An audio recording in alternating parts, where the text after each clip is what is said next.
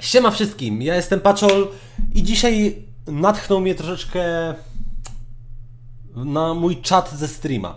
Yy, Chodzi o to, że dużo osób, bardzo dużo osób pyta się, czy opłaca się, to słowo trzeba wziąć w cudzysłowie, czy opłaca się kupować skiny. I na to, na to pytanie jest wiele odpowiedzi, bo i tak i nie, i dlaczego tak, dlaczego nie. I dzisiaj o tym porozmawiamy. Jak wiecie, mam bardzo dużo skinów, mam ich chyba 67, to są moje wszystkie skiny. Yy, tak, chyba 67. Nie wiem, nie będę liczył teraz. I teraz tak, mam różne skiny z przeszłości, różne skiny teraźniejsze, nowe, nie nowe, y, skiny, które nie wrócą do sklepu, skiny, które są co jakiś czas w sklepie i tak dalej, i tak dalej. Wydałem na to ponad 2000 zł. I teraz y, 2000 zł. I czemu według mnie opłaca się kupować skiny? Ponieważ jeżeli mamy na to pieniądze, to ok. Jeżeli nie mamy, no to żeby zdobywać ciężką pracą pieniądze, żeby kupować skiny, to nie. Skiny z jednej strony mają wartość kolekcjonerską, czyli zbieracie jak znaczki w albumie. Tak mi się wydaje, przynajmniej tak do tego mogę porównać. Z drugiej strony dostałem bardzo, ale to bardzo dużo ofert na temat kupna mojego konta i największą ofertą było 5000 zł. I wydaje mi się, że to nie była fake oferta, ponieważ to była oferta na privie, gdzie gościu normalnie się wypowiadał, gadał, gadał, gadał, gadał. I nie chcę się tym absolutnie chwalić. Mam tutaj skiny z drugiego sezonu, mam tutaj skiny yy, z każdego sezonu z karnetu. Nie mam tutaj z Kultrupera i nie mam Gultrupera. Jeżeli te dwa skiny bym miał, to moje konto było wiele warte. Yy, Jeżeli bym miał jeszcze skina, dwa skiny za 25 i 35 level w... Nie, za 15 i za 25 level w, yy, w pierwszym sezonie, te dwa, dwa skiny, nie pamiętam, Renegade chyba, Renegade i ten drugi jakiś był, no takie myśliwskie powiedzmy, no, bardzo mi się podobają te skiny, szkoda, że ich wtedy nie kupiłem, to to konto by było już w ogóle totalnie mega warte. I czemu ja uważam, że się opłaca? Bo, ponieważ jeżeli wydajemy na to pieniądze, to jest takie coś jak marketing, czyli kupujemy, sprzedajemy, prawda? Jeżeli dla nas to konto, na przykład ja na tym koncie pracuję, ponieważ jeżeli jestem na streamie, to to jest moja praca i gdybym sprzedał to moje konto, to bym miał samych bambików, czyli same skiny default? Customowe. Chyba tak to się nazywało. Y, No wiecie, o które chodzi skiny, o te, o te, co mamy za darmo.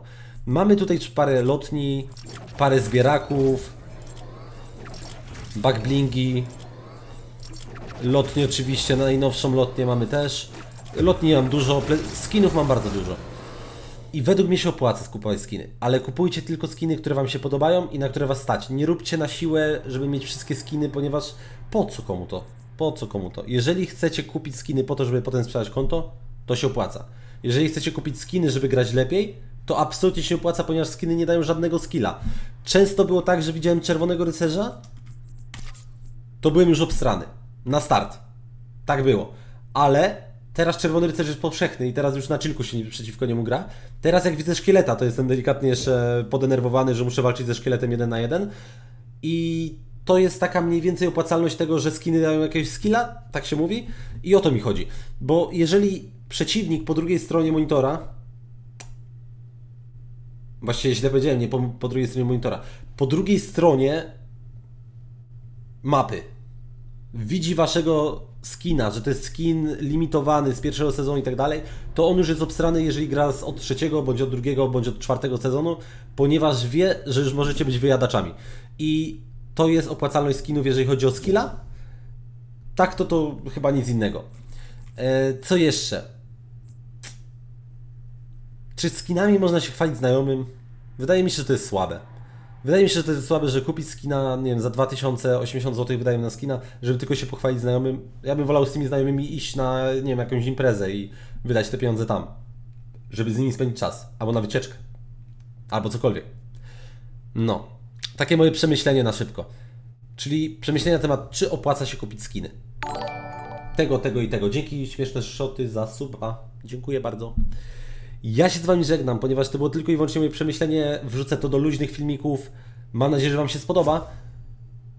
Możemy porozmawiać na różne tematy. No, możecie mi właśnie w komentarzach napiszcie, co byście chcieli wiedzieć. Jakie, na jakie pytanie Wam odpowiedzieć, moje przemyślenia, jakie dać i tak dalej. Boże, samochody jeżdżą.